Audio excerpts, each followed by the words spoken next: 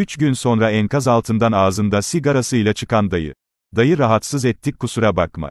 Aslan dayım deprem öldürmedi, doğalgaz kaçağından herkesi havaya uçuracak kral. Baktı enkaz kaldırma yardımı gelmiyor ben enkazı kaldırayım demiş. Kral hastaneye gitmeyi de kabul etmemiş, sigarasını bitirdikten sonra yardım etmeye başlar. Yavaş, yavaş, yavaş. Tamam. Gel, gel. gel. Var mı herhangi bir yerin? Kalkma bir anda kalkma. Ters dön. Ters dön. Ters dön. Hayır, hayır. Hadi. Tamam, önüne bir şey. Sen, sen bir sırt üstü yat şuraya. Sen buraya sırt üstü yat dayı. Hadi. Yat yat yat yat kalkma. Hadi dayı. Tamam sırt üstü yat.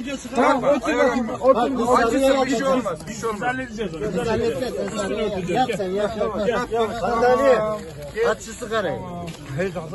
Aç şu sigarayı ben sana vereceğim hastaneye. Gitmez ki. Hastaneye gitmez. Sana vereceğim. Vereceğim de.